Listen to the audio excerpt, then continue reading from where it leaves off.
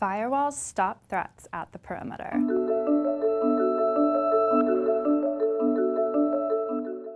The term firewall was first used in construction, referring to a brick wall designed to stop fire from spreading in a building.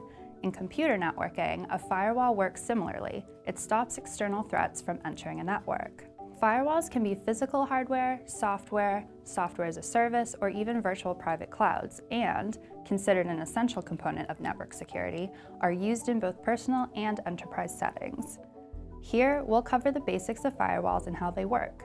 To explore network security in more depth, visit our dedicated site at the link above or in the description below. Also, remember to like and subscribe to Eye on Tech for more videos on all things business tech. A firewall is placed somewhere along a network connection, most commonly between an internal and external network, like the internet. As external data tries to enter an internal network, the firewall inspects its packet information, including its source and destination address.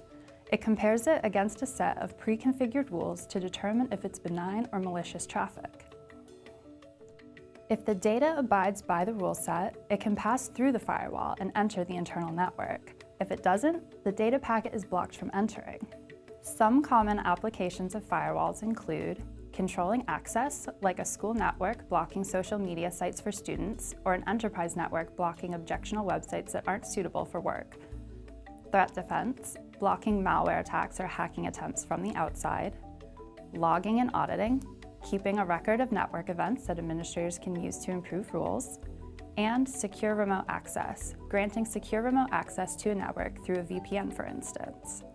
Firewalls aren't just used for blocking outside traffic. They can also be used to isolate a demilitarized zone to allow client communication without letting them into the internal network, or within an internal network to separate sensitive data. And there are different firewalls for different jobs.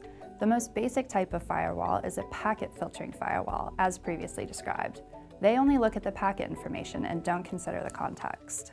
Other types of firewalls, in increasing levels of context, include stateful inspection firewalls, circuit-level gateway firewalls, proxy firewalls, next-generation firewalls, threat-focused next-generation firewalls, virtual firewalls, and cloud-native firewalls. Firewalls are usually paired with other security components, like intrusion detection systems and intrusion prevention systems, because firewalls are still vulnerable to high-level attacks. For example, packet filtering firewalls don't use deep packet inspection, so they can't see the contents of the packet, just the packet header information, and might let in unwanted traffic. While firewalls are generally used to prevent cyber attacks, they can also be used unethically. For instance, consider the Great Firewall of China. The Chinese government uses this firewall to restrict access to politically or socially sensitive content, monitor online activity, and collect personal information which can impede individual freedoms. Some companies have also come under scrutiny for using firewalls to restrict employee access to legitimate websites or to keep tabs on their online activities.